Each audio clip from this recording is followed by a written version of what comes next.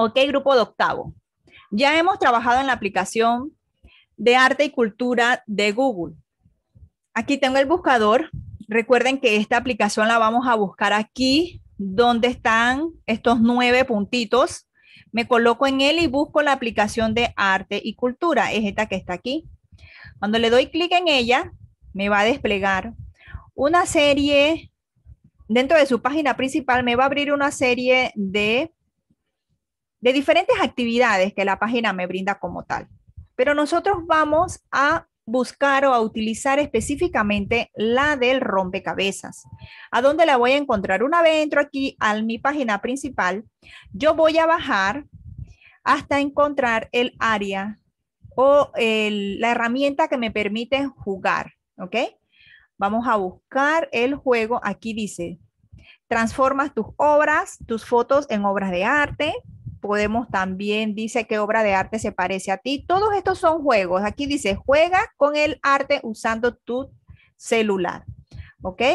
Vamos a seguir bajando hasta encontrar lo que yo les estoy solicitando, ¿verdad? Vamos a el, la aplicación que dice aquí juegos, colorear, crucigramas y más. Vamos a explorar a ver qué me brinda esto. Esta es la que estoy buscando y miren, vamos a utilizar específicamente esta aplicación que está aquí, que es el de rompecabezas. Le voy a dar clic allí en ella. Voy a esperar que se cargue como tal.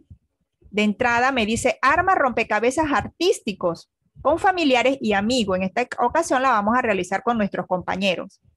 Cuando yo le doy clic en experimentar, me va a desplegar una serie de artes, muchas obras de artes, ¿ok? Yo les voy a dejar a su creatividad, ¿ok? Que ustedes seleccionen una obra de arte, la que ustedes quieran. Eso sí, hago la aclaración, no me van a seleccionar una obra de arte sencilla, tampoco me van a buscar la más complicada, pero sí quiero que busquen algo que ustedes puedan encontrar en cierta manera eh, la diversión, porque la verdad es que deseo que ustedes puedan también divertirse utilizando esta aplicación.